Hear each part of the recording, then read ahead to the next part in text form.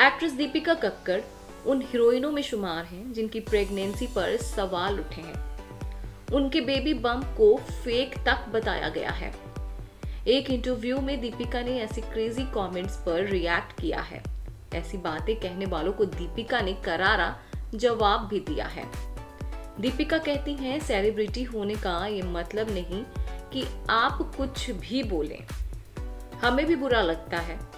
मेरी प्रेगनेंसी को फेक बताने वाले कमेंट सबसे क्रेजी थे। बस इसलिए कि मैंने दुनिया को बिना कपड़ों के बेबी बम्प नहीं दिखाया। लोग आरोप लगा रहे हैं कि मैं प्रेगनेंसी का नाटक कर रही हूँ। मैंने अपना बेबी बम्प ओपनली नहीं दिखाया। बस इसलिए मेरी प्रेगनेंसी फेक हो गई।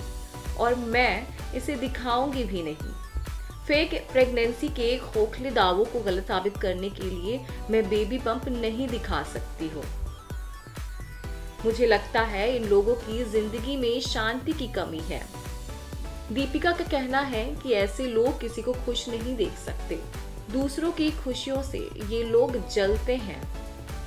दीपिका अपने पहले बच्चे को लेकर काफ़ी एक्साइटेड है। उनका इससे पहले मिसकैरेज हो चुका है। उन दर्द भरे दिनों में शोएब ने पत्नी का पूरा ख्याल रखा था। दीपिका को पहला बच्चा होने के गम से उबरने में काफ़ी वक्त भी लगा था।